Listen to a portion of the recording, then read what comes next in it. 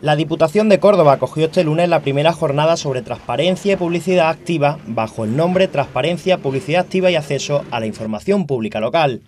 Salvador Blanco, delegado de Hacienda y Recursos Humanos de la institución provincial, estuvo acompañado de los responsables del Consejo de Transparencia y Protección de Datos de Andalucía, Enrique Gavira y Ernesto Mostaza, y también por el secretario general de la Diputación, Jesús Cobos.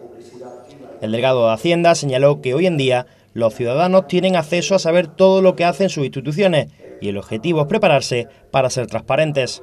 Prepararnos, el que cada día prestemos un mejor servicio y sobre todo seamos más transparentes. Es la sociedad democrática, la sociedad de este siglo XXI exige de sus gobernantes que no haya zonas opacas, que sean todas zonas donde todo el mundo tenga como debe de ser.